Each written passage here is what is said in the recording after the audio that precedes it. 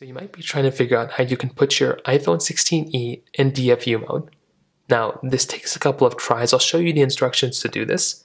But to get started, make sure you have some sort of USB cable around you. If you want to just connect your iPhone 16e to your computer, make sure you have a USB Type-C cable around you.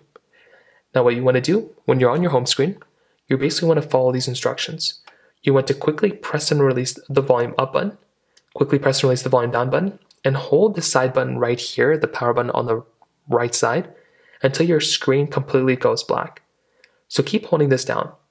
Now, when the screen goes black, what you want to do is you want to press and hold the volume down button while you're still holding down the side button. Now, I did mess up, but essentially what you're going to want to do is go ahead and click on this side button and the volume down button for five seconds. You can release the side button, but you want to still hold down or you want to release the volume. So let's try this again. Volume up, volume down, then hold this side button until the screen completely goes black. And then what you're going to want to do is as soon as it goes black, you want to hit this volume down button right here. So while doing it, hit the volume down button, hold it down for five seconds. So we can do three, two, one.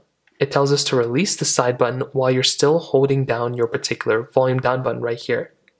Now you will see that your iPhone will be completely black then you can basically release the side button, but you can hold it down the volume button for like 10 seconds or so. And then when it's been 10 seconds, if your screen is still black, you want to let go of your volume down button. And what's going to happen is, is that your phone will basically be good to go. So now it's in DFU mode, and you can go ahead and plug it into wherever else you want to to go and factory reset it, or whatever the case is.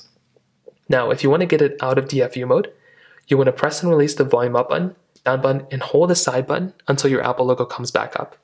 So you're basically doing the same thing as before. Volume up, volume down, then hold the side button. And you want to keep holding down the side button until your phone completely restarts. So it can take a little bit of time, but until you see the Apple logo like this, you can let go. And you're basically good to go there. So that's essentially how it's done. If you have any other thoughts or questions, please let me know in the comment section below. Hit the like button, would mean so much, but definitely hit that subscribe button.